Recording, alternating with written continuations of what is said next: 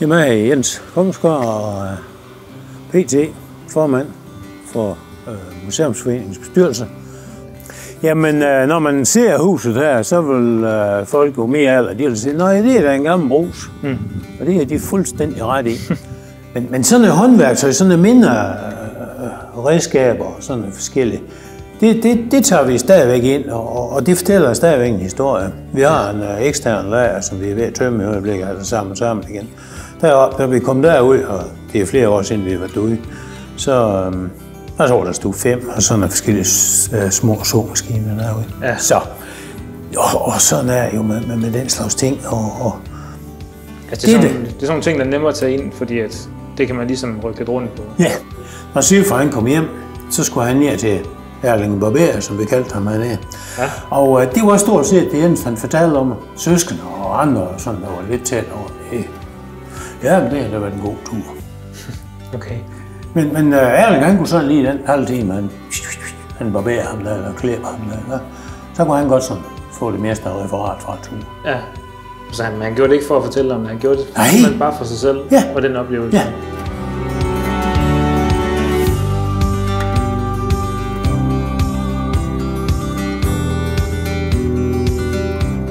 I en lille by imellem Herning og Ringkøbing ved navn Ørnhøj finder du et sted med en masse historie bag sig.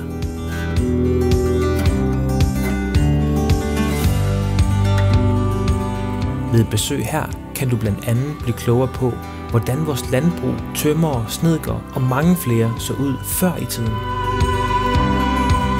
Jeg har fået lov til at tage jer med, når vi skal på besøg hos Trehøje Museum.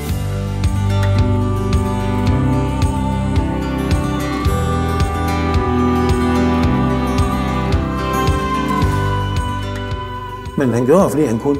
Ja. Og så fordi han var interesseret. Det er fantastisk. Ja. Og det, det, det, kunne, det kunne være, måske godt lære lidt af også. Ja, det er rigtigt.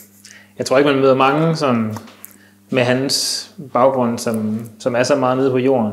Nej. Det tror jeg ikke, man gør. Og så alligevel, så er de der jo i dag. De er der jo. Det er faktisk, øh, jeg ved, du har fuld, øh, der var jo, det var fordi vi var sommerferie og Sydfyn. Der var vi over at se de her kirkekunst, som Jim Lyngvig har lavet til Forborg Kirke, Ja, okay. eller som var udstillet i Forborg Kirke her. Som.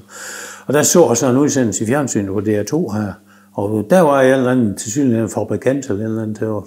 Jim Lyngvig gjorde det gratis, okay. men der var jo en masse materialer og en hel masse andre ting, der skulle det. Der var en fabrikant var fra Forborg. Det må han lige lagt i. Okay. Han var i fjernsyn, de spurgte som, han, han synes, det var, det var et spændende projekt. Ja. Og det ville han da godt støtte. Ja. Og det var bestemt, til at begynde med, der, der står ingenting i det materiale, man kan finde helst, hvem han er og hvad han hedder. Ja. Men det har de så fået, fået lov til igennem fjernsynsudsendelsen. Men, Så der de ja, findes... han skulle da, han skulle da, er for at hæve ham der. Nej, Nej, ja, han har skudt nogle hundredtusind i, fordi Det vil han han synes bare, det var en god idé. ja. Og så vil han gerne lige se det udvikle sig. Ja. lidt mere. ja. ja. Og, og man kan sige, selvfølgelig er de der også i dag. Jo. Ja, men, men, øh, men der er mange andre ting, man synes, der går. Men det er jo nok lige præcis derfor, at man ikke ser dem. Altså, Ja. at, fordi Ja. de gemmer sig. ja, har de ønsker, noget- de ønsker, det er støj Nej, omkring det er ikke der. derfor, de gør det. Nej. Så det er jo nok der, den ligger. Så nej, så øh, vi gør det, at øh, vi kører der hver søndag fra 14 til 16, og ellers åbent efter aftale. Ja. Øh, De fleste bestyr, eller, ja, de fleste bestyrelsens øh, medlemmer, de øh, har arbejdet med, at de er enten efterløn eller pensionister. Så ja. jeg kan jo altid finde en til at gå hjem og lukke op. Og, Ja. Og man kan selv tage kaffe med, og man kan sætte sig hernede i galleriet og se nye idéer. Og hvad så med jer, der har arbejde? Hvordan øh, får man det til at jonglere? Jamen altså, vi kan jo altid tage vagten søndag eftermiddag, og, ja. og bestyrelsesmøder, det er aftenmøder. Okay. Øh, og- eller en fyraftensmøde. Hvis vi skal ryge op og blive pyntet op rundt om museum, så kan vi jo godt mødes om og klar en 4.90, og vi ja. kommer hjem, og så lige tager en par timer. Og så. så Så det hænger fint sammen? ja, de gør.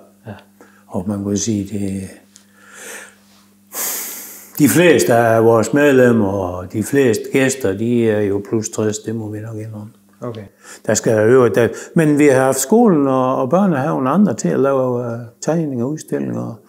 Og det gør jo så, at forældre og bedsteforældre, de også kommer om, og der kommer der også skole. Vores skole herovre har fri adgang her. Okay. Og det står og falder med, om de har nogle emner, uger, tema der eller andre ting gang imellem. Ja. Det kan være et år, hvor lærerne har snakket sammen om at sige, at vi skal, vi skal bruge museum noget i år. Ja. Så kan der gå tre år, vi ser en skoleklasse. Men det er sådan, ja. Ja, ja. Men altså, jeg tænker da også, at der må være noget undervisningsmateriale eller sådan noget, som går hånd i hånd. Altså, så tænker Det kan jeg se antage. Vi har ikke en hel masse, fordi det vil vi egentlig holde os ud af, fordi de er altså svære for os, sådan er så almindelige lønmodtagere, eller hvad vi nu har været i vores liv. Ja. Det, er, øh, altså, så skal man have nogen, som har baggrund i sådan, hvis man skal udvikle på det. nej, men jeg tænker også med, altså ligesom at hvis du har en lærebog eller, eller Ja. ja. at der er et billede i. Ja, ja, ja. Men altså, altså, de det, kan vi, og- det kan vi underbygge, den Ja, slags ting. det er det, jeg mener, Og vi ja. har og så leger vi lidt med, vi har jo nogle gamle billeder, Gud ved, om der er nogle af dem hængt op nu. De har været hængt op. Det var det, man i skolesystemet, før man fik centralskolen, der havde man sådan noget, der hed anskuelighedsbilleder. Okay. Nej, det er det i øjeblikket. Øh, det er ting, som enten er, har historisk relevans, det kan også være håndværksmæssige ting, Ja. Øh, fra landbrug, hånd, øh, hånd, øh, håndværk og sådan nogle ting. Altså, og det ser den ældre generation, som har gået i skole der i mellemkrigsårene, de siger, at det er jo, det jo en del øh, af, ja. af, den, af den daglige undervisning, okay. at man tog sådan nogle ting frem. Ja. Det har vi fået fra en af vores lokale skoler, at når man lukker ned, så der, det, dem lukker man jo bare ned, og så stod alles, alles kram. Den, der købte, den fik det hele med. Men der var så en enkelt, som sagde, ah, det skal vi nok lige passe lidt over, det der. Så derfor pludselig, efter nogle år, så dukker det op. Ja. Og de er ligesom opdaget, at blev museum her, så, så kommer. Ja, ja. Så. Så, så sådan hænger den slags ting sammen. øh, det, der trækker publikum til, det er, at der er den første søndag hver måned, der har vi en eller anden husvis menneske, som sidder herinde og nørkler, eller viser frem på noget, som de Er det i gode. baglokalet herude? Ja, det er herude i galleriet. Ja. Øh, hvor vi kan have mødelokale, og der ser vi også med streamingsforedragene her sammen med Aarhus Universitet. Ja. Øh, og det gør jo, at, øh, at, at det sådan en søndag der, hvor, det, hvor der kommer sådan et kreativt menneske i huset, der, der kommer der gæster. Ja. Skal der andre ting til, så skal vi ud og have, tror jeg har nævnt før også med maskiner eller andre ting, altså for at, at, at trække folk til. Ja. Så kommer der også folk. Øhm, og, og, og det lader vi med. Så har vi haft nogle arrangementer, hvor vi selv har stået for det, og vi har haft arrangementer, øh, hvor blandt andet sidste år havde vi en, en par vinsmagninger sammen med lokale købmand. Mm. Vi har haft en aften omkring ølbrygning, fordi der var en, der han havde en svoger, der brygge øl. Okay. Og så var han her med hans udstyr, og så smagte vi noget øl, så holdt vi ølsmagning samtidig, og hele huset, den dufter af humler og varm øl, og det var, ja, det var, men, men, men der, kan vi, der fylder vi nemt her en 30-35 mennesker herinde. Det kan man sagtens, ja. Ja, Ja. men det kan man så sige, det kræver også, at at vi fra bestyrelsen, eller også sætter priser på, altså, så er jo også, der står arrangement. Ja. Vi tager skrald, hvis det giver underskud, men vi tager også lidt, hvis det giver overskud. Ja. Øh, vi gør måske så meget for at, at, at skabe overskud i den forstand, men, men vi vil gerne ja. øh, møde mennesker Ja, det er det. og lære dem til at komme her. Det er det. Altså, hvis de lige Og, får og, og op det eneste, der trækker mere, det er det årlige julemar, der er midt i november. Ja. Der kommer der en del mennesker, som en weekend. Men det er også ved at løbe ud lidt. I år skal vi nøjes med en enkelt arrangement. Okay. Ja. Der er også mange ting rundt om, så mm. det er vi så ligesom erkendt, der er vi lige i øjeblikket. Der er også meget arbejde så ja, nu ser vi. Vi nytænker også lidt, hvis det er muligt. Men, vi skal have håber at få en, en, en sang, spiller en sangaften måske med, med lidt folkemusik og, og så lidt fortælling. Ja. Uh, sådan. Lidt af hvert. Vi skal bygge lidt. Ja. Øh, vi, vi skal jo ligesom videre, men, men streaming for, foredragene der, det, det er en succes. Øh, og, og der kommer også folk, som han altså aldrig vil komme bare for at se en udstilling. Ja. Men de kommer, fordi de er nysgerrige på, på de, at man siger, det kan være filosofi, eller det kan være Ja, ja. alverdens ting mærkeligt. Men det er jo igen indikerede mennesker, som er fuldstændig brændt op af, og så er lige med, om det er små atomer, eller hvad det er, de drømmer om. Altså, det, ja. det, man har hørt sådan nogle foredrag. Ja. Vi diskuterer dem jo også som sådan her, Men øh, er der en, der har et spørgsmål, så kan de jo sende en sms ind til Aarhus, og så kan de først få svar i udstillingen, ja, mens udsendelsen kører, eller mens det kører. Ja. Så, nej, det er altså, så vi er ikke særlig forskrækket sådan over fremtiden heller. Altså, det er, vi tror på. Nu, nu vi står vi her i galleriet, og det er stort set øh, fra øh, samlingen fra Sifred. Øh, og der har vi i hvert fald en gang, og måske to gange om året, så har vi moderne kunst på væggene. Mm. Der er rigtig mange, der maler. Ja. Det er der. Øh, nogle gange så er de en to-tre øh, mænd eller kvinder, der er samlet i en gruppe, og så vil de gerne udstille, og andre gange så er der bare en enkelt. Sidste her, det var bare en enkelt. Så det er ikke et eller andet specielt tema, I kører her. Det, det kan godt... Øh... Nej, de, de, altså, jeg har i hvert fald haft den tilgang til de år, jeg har set med, at herude i det her lokale, mm. der er sådan set næsten ligeglad med, hvad der foregår. Ja. Så det, det skal bare være kreativitet. Vi skal, vi skal bare over den, den kant der. Ja. Altså, der, man skal på et eller andet niveau have respekt for, at vi har et museum derinde. Men til julemarkedet, der trækker vi godt nok uh, kreative mennesker derind også og Ja. laver både og sådan noget. Men, men, men, uh, men herinde, der mener jeg næsten alt er tilladt. Kreativ frihed. Ja. Ja. Øh, og man kan se, at vi har øh, halven af øh, kantinen har lidt vægplads til lidt maleri, men næsten er der, vi er jo den, der måske skal løfte den opgave i vores lokale samfund. ja. Og det gør vi så. Det skal der også være nogen, der... Og det gør vi gerne. Ja, fedt. Så. Nej, så det er sådan øh, hovedessensen i vores virksomhed her i huset. Ja. Og hvordan så med dig? Altså, hvad motiverer dig til at, at blive ved med at gøre det? Jamen, øh, det er jo nok delvis lysten til at, at, at skabe øh, og være, være en del af, af historien. Ja.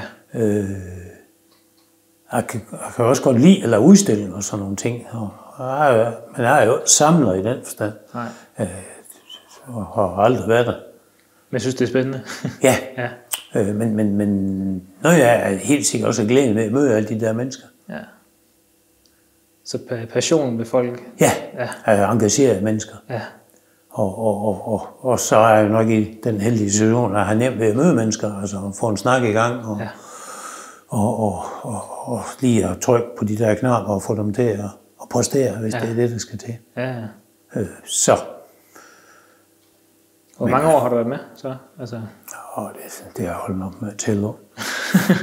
ah, men jeg kom med øh, efter en 3-4 år. Ja. Jeg har været afraget med ham til en par møder, sådan, også fordi jeg var leder af oplysningsforbundet på det tidspunkt. ja.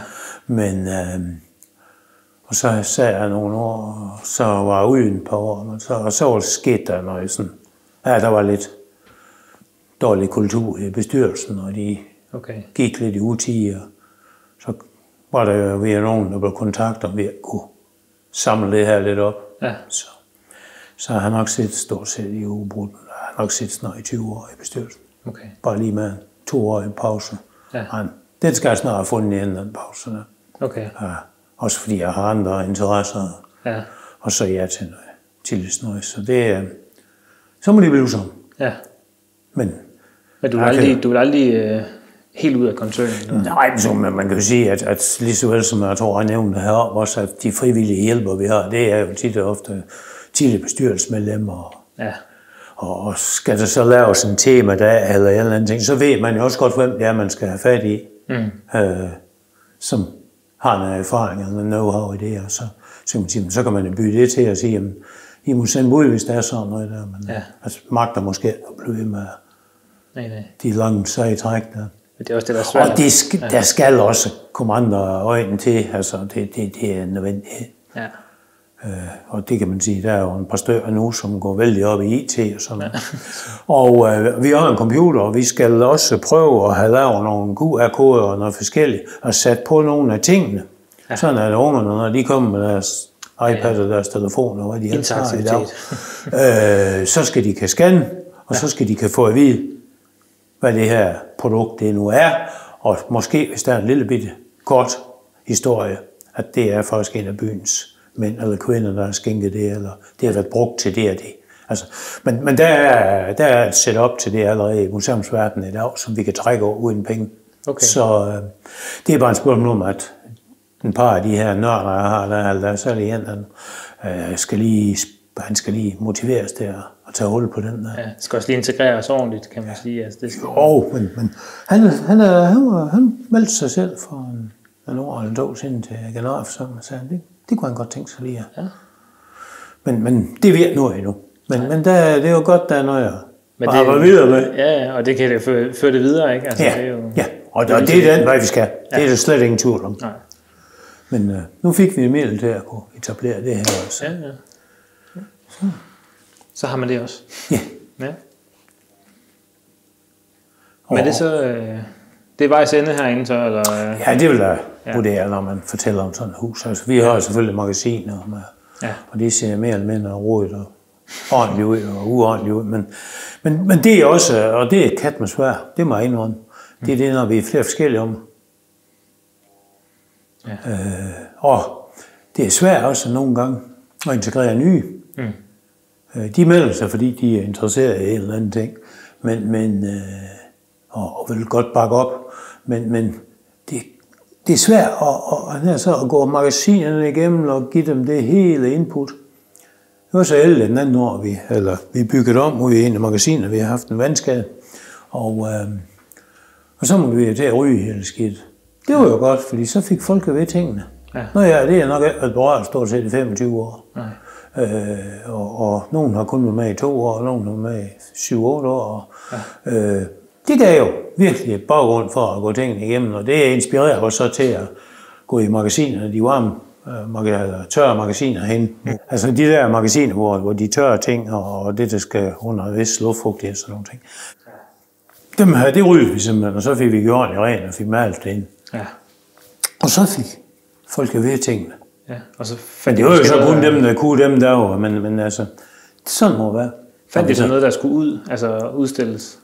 Ja, det, det inspirerede i hvert fald. Der var en af damerne der, hun, hun, øh, hun lagde nogle ting til side, så nej, nu når vi kommer til, når den, den udstilling skal væk, så skal vi have det her frem.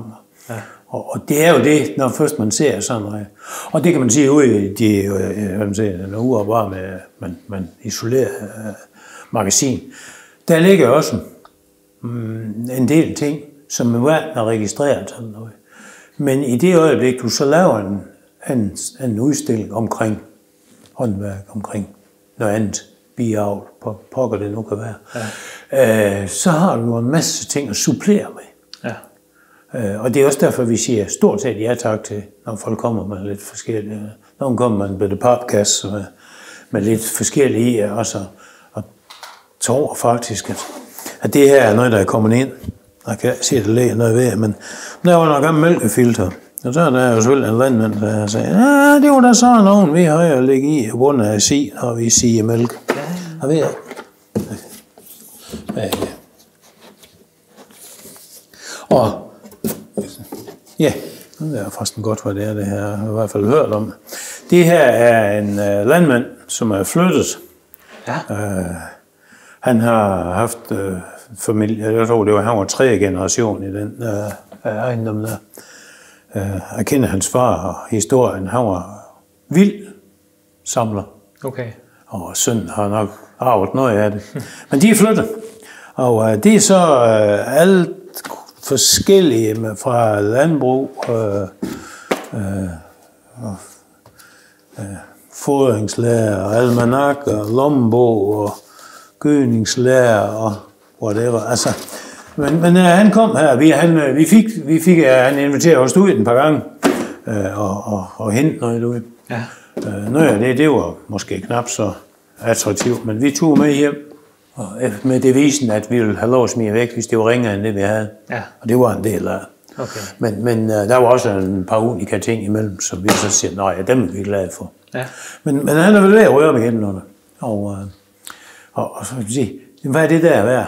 Ja. Det er jo ingenting værd i, i handel og vandel. Nej. Men i det øjeblik, du skal til at fortælle om, øh, hvornår den første øh, af de gamle mennesker, som bor rundt i byen, øh, var på landbrugsskole, eller tog en aftenskolekursus faktisk i landbrug, det kunne man også på et tidspunkt, Ja. så ligger håndbøger der. Ja, ja. øh, så det kan man godt Ja. Øh, ligesom integrere, og så kan man måske få en ung landmand ud og fortælle om i dag, hvor han øh, har gået på Hamrum eller Bygholm, eller hvor pokker han er gået hen, og sige, jamen han er jo, han er jo, jamen, han er jo ikke en landmandsuddannelse, nej, han er erhvervsuddannet. Ja. Fordi han, det handler jo virkelig om, han tjener hans penge et skrivebord, ja. så leger han tre ukrainer der og, og passer det derude. Ja, ja. Altså, men den historie skal vi jo også fortælle som museum. Ja. Det var bare, han er så gammel sager. Nej, og så er det ikke været nuanceret, kan man sige. Ja. Ja. ja. Så, så det, det, er jo der, vi skal, altså, det er jo det, vi skal finde inspirationen til at bakke hinanden op i og lave sådan nogle ting. Ja. Hvis vi, vi har måske her i byen i øjeblikket to unge mennesker, der går på Bygholm, og, og ved, den ene familie kommer her i huset lidt sammen. Og øh, så siger, det kunne det være, at vi kan overtale ham til at komme om og holde en aften om, hvordan han har taget hans uddannelse. Ja. Ja. Vil han være selvstændig? Nej, det vil han nok ikke. Nej. Han vil nok være, han vil være lønmodtager. Men, men, ja, men, men vi har, vi har noget at, Så kan man understøtte at supplere historien med. Ja. Fedt. Så Så, der kommer, der, der, kommer er, man, kasse. der, altså, der er uanede muligheder. Ja. Det er bare et spørgsmål om, at man selv blokerer for en gang, men man får, ja. får noget at være. Ja, ja. Sådan. Ja, Jamen skal vi sige, det er ved vejs ende så? Ja, jeg tror. det- Ja. Super. Mange tak for rundvisningen.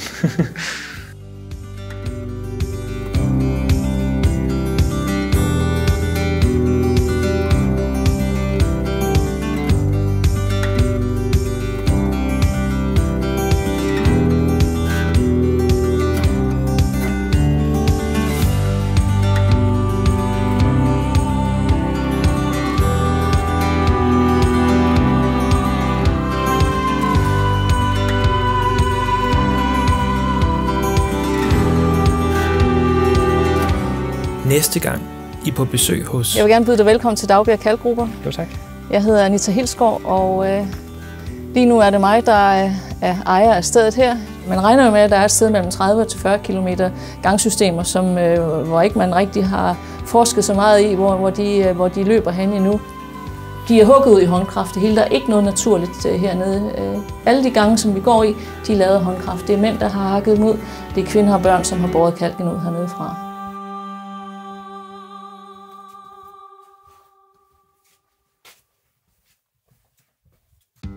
Jamen, jeg er Jens Kongsgaard og PT, formand for øh, Museumsforeningens bestyrelse, og har faktisk været i mange år. Jamen, øh, når man ser huset her, så vil øh, folk jo mere alder, de vil sige, nej, det er da en gammel brus. Og det er de fuldstændig ret i.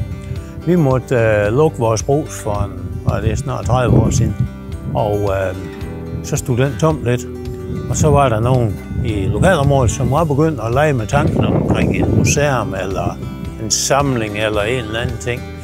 Og øh, så pludselig så var der, kunne vi mærke, at der var interesse for, udefra for bygningen. Og så spurgte man øh, FDB, var det jo dengang, om øh, man kunne købe det der.